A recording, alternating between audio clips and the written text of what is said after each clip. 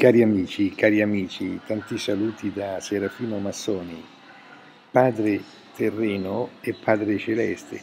Sono sempre gli amici che mi mettono, diciamo, con le spalle al muro, invi- inviandomi eh, messaggi singolari.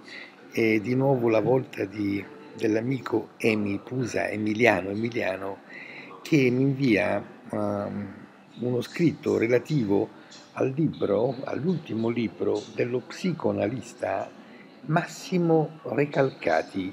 Massimo Recalcati avrebbe pubblicato, anzi ha pubblicato da poco, eh, un'opera che appare nella, nel pregiato catalogo Raffaello Cortina Editore, un'opera che è intitolata Cosa resta del padre? Punto di domanda la paternità nell'epoca ipermoderna. Ora, cosa resta del padre? Poi vedremo che questo padre sia il padre terreno che il padre celeste. Vediamo, vediamo un po' che c'è scritto. E l'autore Massimo Recalcati, psicoanalista di indirizzo lacaniano, e scrive, è giusto, scrive all'inizio della sua opera, intitolata Cosa resta del padre? Punto di domanda. È giusto insegnare ai nostri figli a pregare se Dio è morto?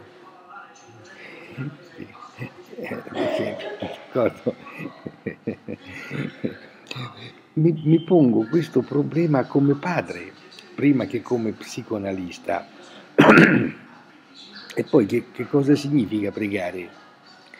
Mm, significa forse alimentare nei nostri figli l'illusione in un Dio che non esiste più e in un mondo, l'illusione in un mondo dietro, dietro a questo mondo qua. E, mm, significa, come pensa una certa cultura del disincanto, alimentare un rituale superstizioso? Oppure insegnare a pregare un modo per custodire l'evocazione di un altro, eccetera, eccetera, eccetera. Un mio caro collega non sopporta di sentirmi fare questi discorsi.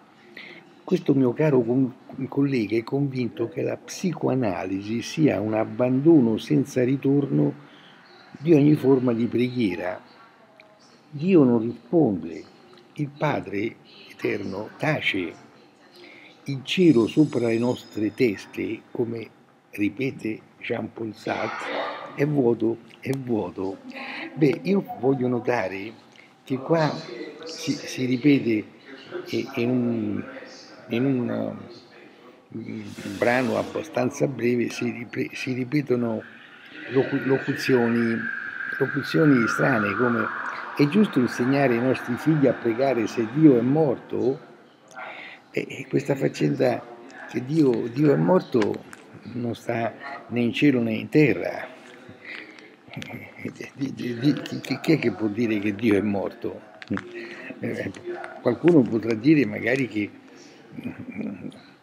la, la, la, la, fede è diminuita, ma nessuno può dire che Dio è morto. Ma chi è che lo può dire questo? Io non so se qualcuno può dire dove è seppellito questo Dio morto, nessuno ha partecipato alla cerimonia funebre del Dio morto. Se io, se io mi giro dappertutto vedo ovunque trionfare le religioni, la credenza in Dio. È giusto insegnare ai nostri figli a pregare se Dio è morto? Ma chi è che l'ha detto che Dio è morto? Io non lo sentite mica suonare le campane a morto per, per, per, per la morte di Dio. Poi eh, continua, continua Continua, dice l'illusione in un Dio che non esiste più. Potevo accettare l'illusione in un Dio che non esiste, non che non esiste più. Perché se c'è stato prima Dio, eh, ci sarà pure adesso, ci sarà pure dopo. E poi eh, Sartre, Sartre, sì, lo so, ho letto anch'io Lettre Leneante di Sartre, ho letto anch'io, eh, che termina con quella, quella, eh, quella disperata frase L'uomo è una passione inutile, sì, sì. Dice, Dio non risponde, il Padre, il Padre Eterno tace, il cielo sopra le nostre teste è, è vuoto. Ma, ma perché? Dove, dove, chi, chi, è che ha scientificamente dimostrato che il cielo sopra le nostre teste è vuoto? è la vecchia questione de, de, de, del credere e, oppure la vecchia questione dell'ateismo, dell'ateismo. ma, ma eh, eh, di ciò di cui non abbiamo prove è meglio tacere. Ma mi pare che ho fatto questa mattina un video che ho dedicato a, Ma a Margherita Hack. A Margherita Hack mi pare che il video sia intitolato Il bosone di X e Dio. Margherita Hack. E qualche giorno fa avevo fatto il video intitolato Margherita Hack e Dio. Beh, sentite, e qua questo psicoanalista, questo psicoanalista si pone dei problemi giusti, Massimo Recalcati si pone dei problemi giusti, cioè si dice ma è giusto che un padre eh, si metta a, a, a, parlare con il proprio figlio di, di, Dio? Di Dio? È giusto o non è giusto? È uno psicoanalista, eh? Pensate però che anche gli psicoanalisti si pongono questi problemi, che sono problemi fondamentali. Beh, dal mio punto di vista, modestamente parlando, eh, io evidenzio che, che, che eh, lo devo dire senza tema di essere smentito, che innanzitutto il grande Buddha, che io amo tanto, tanto, tanto, non si è mai permesso di dire che Dio non esiste. E, il Buddha non si è mica espresso come Sartre. Non ha mai detto, il, Buddha non ha mai detto che, sopra, che, il, che il cielo sopra le nostre teste è vuoto. Niente, ha, ha, sospeso il giudizio. Eh, il grande Buddha, che di certo, di, certo eh, di cose ne ha, ne, ne, ne ha imparate, imparate mol, mol, molte di più di, di Jean Paul Sartre, dico il Buddha ha messo tutto tra parentesi. Io mi, mi permetto di dire semplicemente che esiste il problema dell'armonia dell'universo, dell'universo infinito ed eterno. Io, io, vorrei sapere ancora, eh, ho fatto questa mattina il video, il bosone di X ed io, Margherita Hack. È scivolata Margherita Hack, ha detto che, che il bosone di X ed io sì che è semplicite. Poi dopo ha detto però che adesso ci sono ancora tantissime altre cose da scoprire. Beh, ma, ma, eh, eh, Margherita, ma dico, cara scienziata, io ti rispetto tanto e ti apprezzo tanto, cara scienziata, ma, ma lo vedi che c'è l'armonia? Non, non, lo vedi come è costituito un atomo? Che c'è il macrocosmo, c'è il microcosmo, non lo vedi? Eh, beh, c'è l'armonia.